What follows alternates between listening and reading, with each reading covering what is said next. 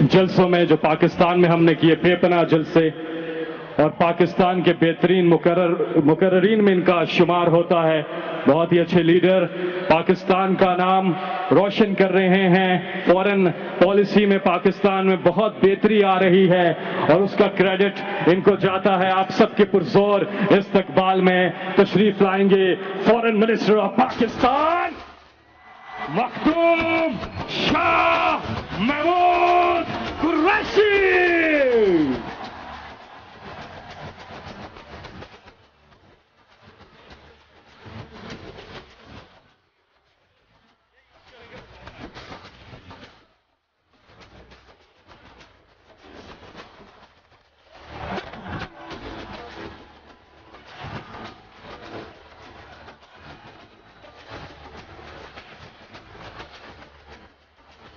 بسم اللہ الرحمن الرحیم۔ آج امریکن پاکستانیوں، آپ نے ثابت کر دیا آپ ایک زندہ قوم ہیں۔ وزیر اعظم عمران خان صاحب وزراء ایڈوائزرز ممبرز آف پارلیمنٹ ہمارے سفیر اور آرگنائزر ڈاکٹر عبداللہ ریاڑ اور امریکہ کے مختلف شہروں سے تشریف لائے ہوئے پاکستانیوں۔ السلام علیکم۔ شکریہ۔ آپ کی آمد کا شکریہ۔ آج آپ کے ولولے کو دیکھ کر، جوش کو دیکھ کر بہت لوگ خوش بھی ہیں اور کچھ کچھ پریشان بھی ہو رہے ہوں گے۔ آج آپ نے تاریخ بنا دی۔ ماضی میں بھی کمیونٹی ایونٹس ہوتے رہے ہیں، لیکن ایمبسی کے بند کمروں میں ہوتے رہے ہیں۔ فائیو سٹار ہوٹل تک محدود رہے ہیں۔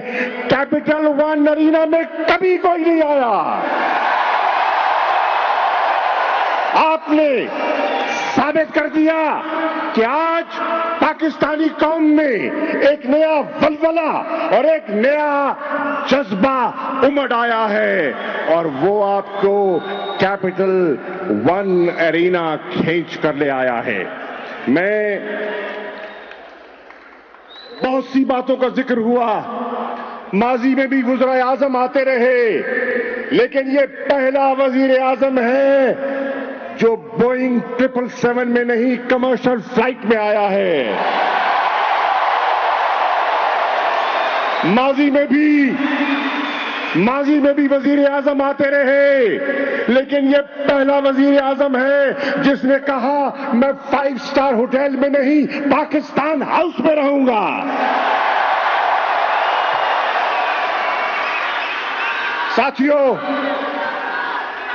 مجھے آپ پر فخر ہے۔ آپ کی اچیومنٹس پر فخر ہے۔ آپ نے دیار غیر میں آ کر اپنی محنت سے جو مقام حاصل کیا پروفیشنلز میں، جہاں جہاں آپ نے جس جس شہر میں مقیم ہیں، آپ نے اپنی محنت سے، لگن سے پاکستان کا جھنڈا گاڑا۔ اور مجھے فخر ہے کہ آپ ان پاکستانیوں میں شمار ہوتے ہیں جو محنت کرتے ہیں۔ اور اپنی سیونگز حق حلال کی پاکستان منتقل کرتے ہیں۔ اس لیے ہمیں آپ پر فخر ہے۔ اور آج کون نہیں جانتا کہ اوورسیز پاکستانیز جو پاکستان سرمایہ تفصیل کرتے ہیں، وہ پاکستان کی برآمدات کے برابر ہے۔ اگر بڑھ نہیں گیا تو۔ اور پچھلے سال جو ابھی جو مالی سال کلوز ہوا ہے، وہ سترہ اٹھارہ سے آپ کی ریمیٹنسز میں کوئی نو دس فیصد اضافہ ہوا ہے۔ یہ ہے محبت۔ یہ ہے لگن پاکستان کی اور آپ نے ثابت کر دیا ایک پاکستانی وہ ہے جو یہاں کماتا ہے اور پاکستان دولت منتقل کرتا ہے اور ایک طبقہ وہ ہے جو وہاں قوم کو لوٹتا ہے اور منی لانڈرنگ کے لیے پیسہ یہاں منتقل کرتا ہے۔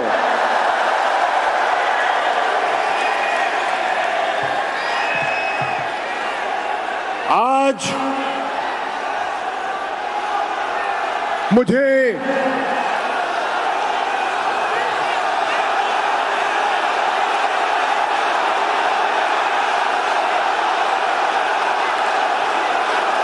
شکریہ۔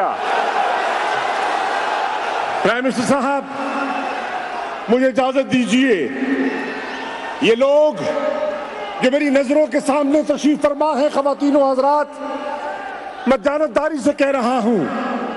اگر یہ نہ ہوتے، ان کا جذبہ نہ ہوتا، ان کی وفا نہ ہوتی، ان کی لگن نہ ہوتی اور ان کی ڈونیشن نہ ہوتی، تو شاید آج شوکت خانم نہ ہوتا۔ اگر یہ لوگ آپ کے ساتھ اس طرح منسلک نہ ہوتے، تو شاید آج نمل کی جو ایک نئی تصویر اور جو دیواریں اسر رہی ہیں، ابھر رہی ہیں، وہ لوگوں کو دکھائی نہ دیتی۔ اور میں یہاں یہ کہنے کی جسارت کر رہا ہوں، جناب چیئرمین، وزیر اعظم پاکستان، اگر یہ پاکستانی اوورسیز پاکستانی نہ ہوتے تو شاید تحریک انصاف کی بنیاد نہ ہوتی۔ یہ ہے وہ طبقہ جس نے آپ کو موٹیویٹ کیا۔ یہ ہے وہ طبقہ جس نے آپ کو انسپائر کیا۔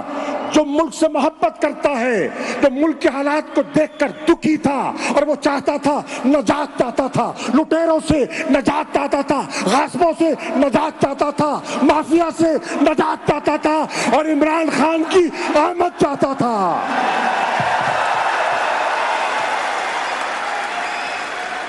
جناب والا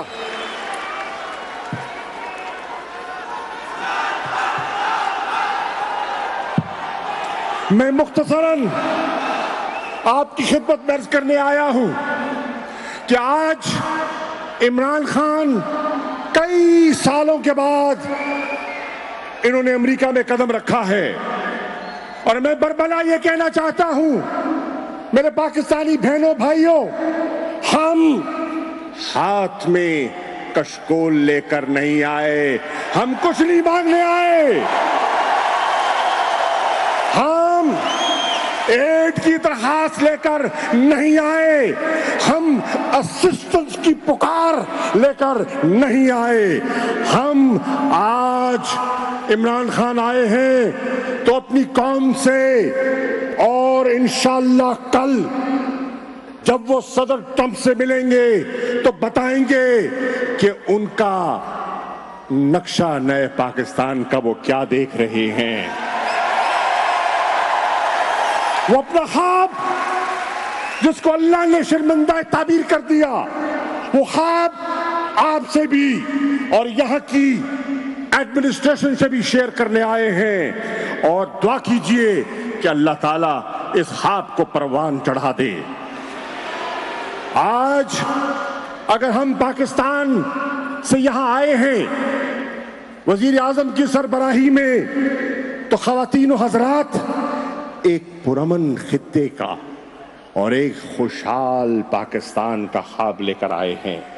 اگر آج ہم یہاں آئے ہیں تو وہ بارڈر جو دہائیوں سے سیلڈ ہیں ہم ان بارڈرز کے اندر نئی راہداریاں تعمیر کرنے کے لیے نکلے ہیں۔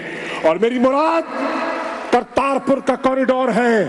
اور میری مراد سی پیک کا اکنامک کوریڈور ہے، جس میں ہم دنیا کو، امریکہ کی بڑی بڑی کمپنیوں کو دعوت دینے آئے ہیں۔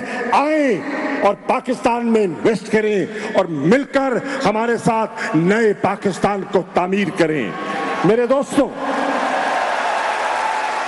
ہم آئے ہیں تو دو طرفہ تعلقات کو بائی لیٹرل ریلیشنز کو اثر نو استدار کرنے آئے ہیں اور ایک نئے خوددار باوکار پاکستان کے سربراہ کی حیثیت سے گفتگو کرنے آئے ہیں، دوستی کا ہاتھ بڑھانے آئے ہیں، لیکن جھک کر نہیں، سر اٹھا کر بات کرنے آئے ہیں۔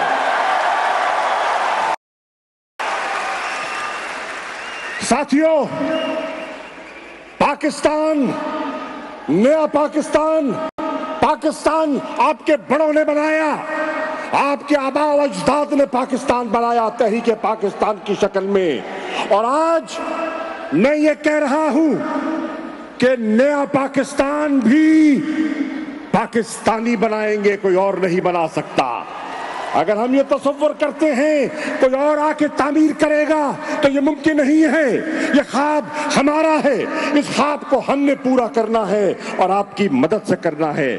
میرے ساتھیوں، میں اپنی بات کو اختتام کی طرف لے جانا چاہتا ہوں اور ایک اور عرض کرنا چاہتا ہوں۔ میں پہلے بھی واشنگٹن آیا، تقریباً ایک سال پہلے آیا اور تب تحریک انصاف کی حکومت کو معرض وجود میں آئے ہوئے صرف ایک ماہ ہوا تھا۔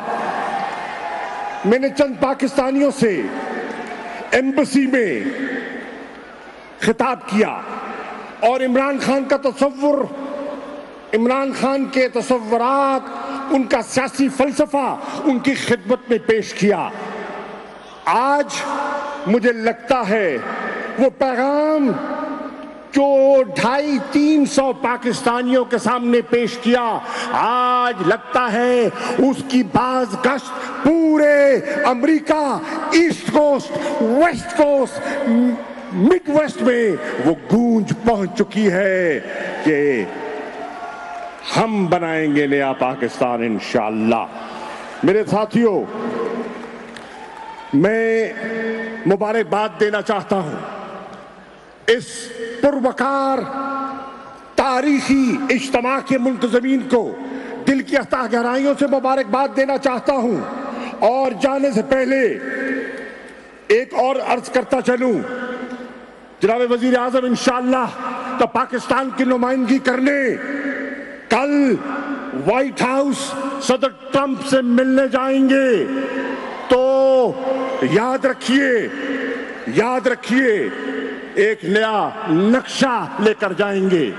آپ جانتے ہیں، پوری قوم جانتی ہے کہ وہ پاکستان جو دہشت گردی کی لپیٹ میں چکڑا ہوا تھا، جس کو آج پرامن کرنے میں افواج پاکستان پاکستان کے شہری اور پاکستان کے سپاہیوں نے مل کر جانی اور مالی قربانی دی۔